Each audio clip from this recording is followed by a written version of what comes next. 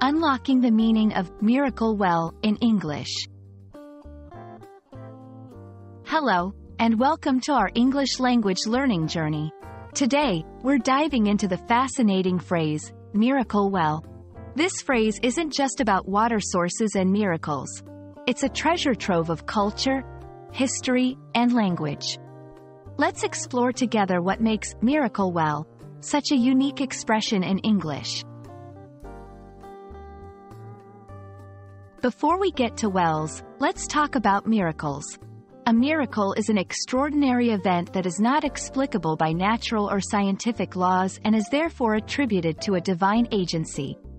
In everyday English, we often use the word to describe something amazing or highly improbable that happens in a positive way.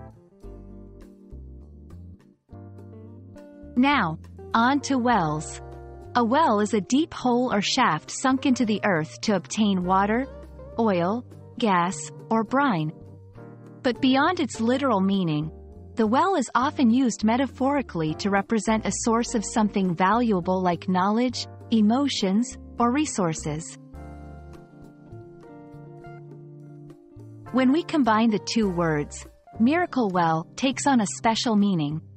It's not a common phrase you'll find in everyday conversation, but when used, it implies a source that provides an unexpected, extraordinary bounty.